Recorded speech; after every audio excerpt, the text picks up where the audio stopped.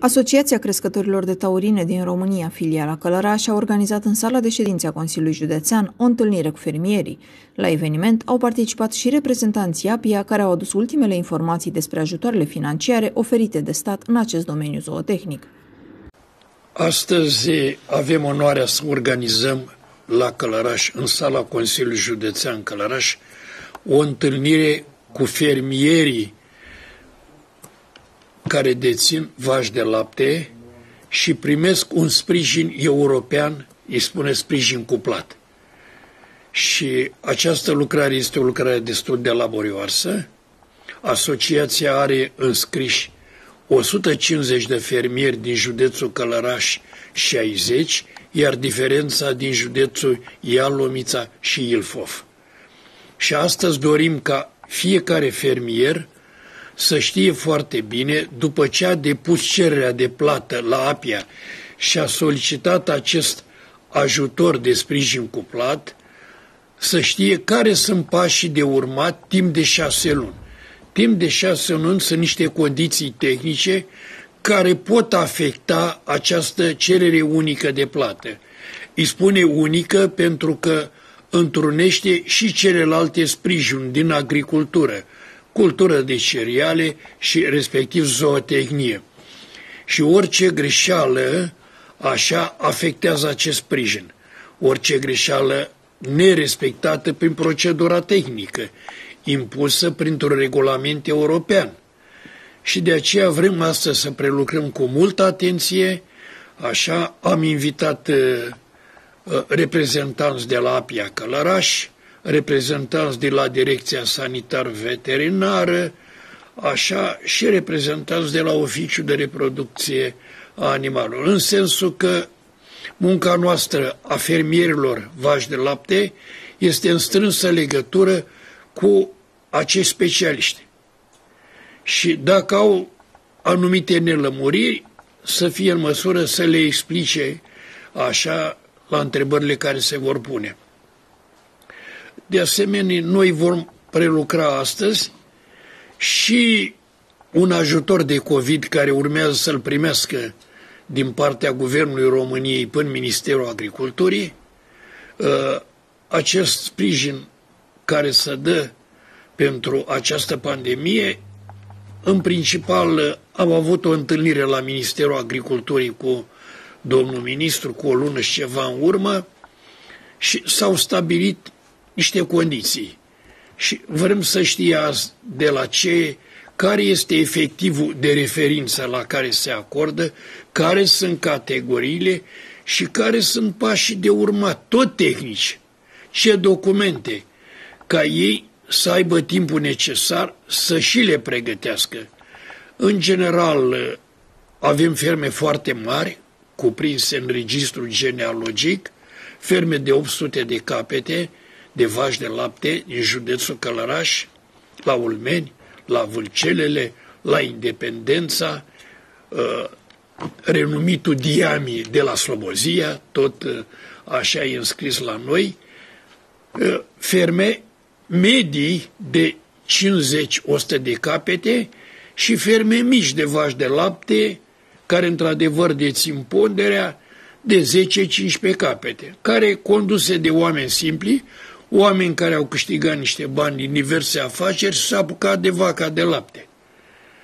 O specie foarte grea, una din cele mai grele specii, așa zic eu, din zootehnia românesc, care cere un efort tot eh, timpul anului și rezultatele nu sunt cele financiare pe care și le dorește fermierul, dar eh, în localitatea unde se află, eh, având și pământ, a găsit de cuvință că și cu acest sprijin cuplat, această subvenție europeană, care este în jur de 400 de euro, tradusă în lei vreo 20 de milioane vechi, zic eu că i-ar ajuta. Numai că pe parcursul anului sunt niște eforturi substanțiale din partea lor, din partea asociației. Asociația organizează un control oficial al producției de lapte, adică măsoară producția de lapte odată la 28 de zile, recoltează probe de, de lapte, înregistrează monte, fătări. Într-un final, construiește pedigriu. Toate animalele din Uniunea Europeană, cu excepția a câtorva țări, și nu este cazul să le enumerez, toate au în spate, în afară de pașaport, și un pedigriu al fiecărei vaci. Adică să știe așa din generație în generație, cel puțin două generații în urmă, care-i mama, care-i tata și ce performanță. Mai puțin e important numele sau numărul matricul al vacii, ci importantă este performanța vacii respective. Ca atunci când are loc transferul, vânzarea și alte, să știe foarte bine uh, așa cel care cumpără sau cel care vinde să fie în cunoștință de cauză cu potențialul respectiv. Câți fermieri și-au anunțat prezența la întâlnirea de astăzi? În general, fermierii din de, de la această uh, categorie de taurine, uh-huh. ei sunt 55 și vor fi toți 55 prin excelență. Asociația va uh, organiza astfel de acțiuni uh, în cursul anului? Va fi singura acțiune de acest gen sau nu, urmează și Nu, alte? noi, datorită pandemiei, lucrurile au fost mai greu de realizat, dar întâlnirile sunt mai dese. De regulă avem întâlniri, ședințe, lucruri pe centre, în Ialomița le ținem la Urziceni, avem un fermier care și are și o sală destul de mare, ține cursuri de formare profesională pentru conducerea auto, așa, care ne oferă posibilitatea cu fermierii din zona Urziceni. Uh, la Slobozia avem un alt uh, așa fermier, Gigi Manache, care ne oferă posibilitatea, are și un mare restaurant și în aer liber sau în interior să aducem fermierii sau la uh, direcția agricolă, așa are un spațiu destul de de convenabil să ne putem întâlni. Adică și de regulă ne mai întâlnim și la primăria Ciochina. E un grup acolo de 10-15 fermieri, datorită izlazului, de-a lungul așa vorbim de apă. Următoarea întâlnire știți cum va fi programată? Uh, următoarea întâlnire uh, dorim așa să fie pe la jumătatea acestui an, depinde și de pandemie și de condițiile care apar.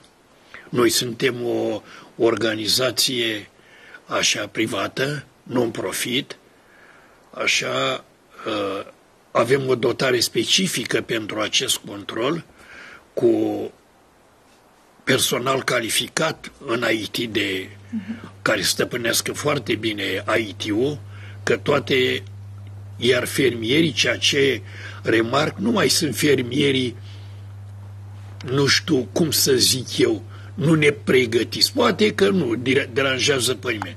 Sunt, majoritatea au, au acasă calculatoare, comunicăm foarte bine online, așa, orice informație poate să o avem o zi de o dată pe zi, o dată pe săptămână, de la minister, de la altea, noi o comunicăm nu mai spun WhatsApp-ul la ordinea zilei. Pentru că sunt diverse lucrări care impun o comunicare rapidă, nu neapărat deplasarea. Adică dacă un fermier este din comuna Adâncata, la 140 de kilometri de asociația de la Călăraș, el n-a venit decât la înscriere la Călăraș. Restul comunicăm online. Restul ne întâlnim de două ori pe an la Urziceni, odată la semnarea contractului și de alte două ori să clarificăm mai multe probleme care apar. Știți? Spre exemplu, acum documentele care trebuie să însoțească așa pentru a primi acest sprijin de pandemie, care încă este discutat, dar până la urmă sperăm să se acorde fermierilor în special vorbesc la cei de lapte, vaca de lapte, de care noi suntem așa într-un contract direct cu ei și un alt contract, o asociație pe țară. M-ați înțeles? Ca structură sunt foarte, suntem foarte bine organizați și repet ca mod de comunicare așa de asemenea foarte bine, ei sunt destul de responsabili că este afacerea lor în joc, nu este o activitate benevolă. De fapt, acest sprijin cuplat să dă celor care vor ei să-l primească, dar să respecte regulile jocului impuse până anumite regulamente europene. Nu avem niciun an de când campania electorală s-a terminat și am plecat și cel puțin și noi la nivelul aleșilor, la nivelul județului, știm toate problemele care dumneavoastră le-a spus în campanie. Unele putem rezolva, unele s-au rezolvat schimbând administrațiile locale, da? dând votul negativ pe care dumneavoastră l-ați dat alte echipe și altă echipă guvernează astăzi, sau acea echipă care a fost și înainte a câștigat și tot cu problemele rezolvate ați rămas.